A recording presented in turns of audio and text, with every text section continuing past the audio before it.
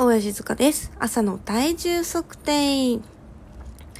朝の体重は、56、昨日の夜の56.5から 500g 減りました。昨日の朝から比べるとマイナス 400g です。で、お昼ご飯です。お昼ご飯は、こうちょっと取るの忘れてたから、あの、一口食べた後なんですけど、オムライスを食べました。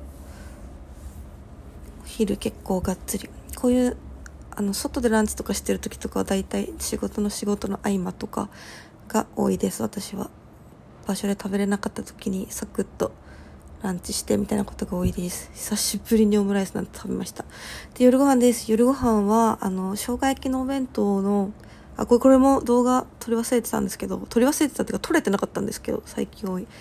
生姜焼きお弁当の生姜焼きとサラダとポテサラだけ食べました。ご飯は食べていません。夜の体重測定です。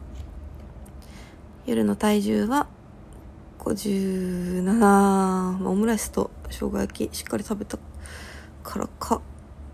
1キロ増えました。というかあの周期的にも自分の体の今すごい増えやすい時期にはなっていて、まあ、57だと刻んでますけどまあ仕方ないかなと思っています。声がめちゃめちゃ寝起きの声でごめんなさい。今帰ってきて家で寝ててで起きてやばい12時になっちゃうってなってとっさに撮ってるので 寝起きな声です。皆さんはどんな一日でしたか？明日も一緒に頑張ろうね。バイバイ。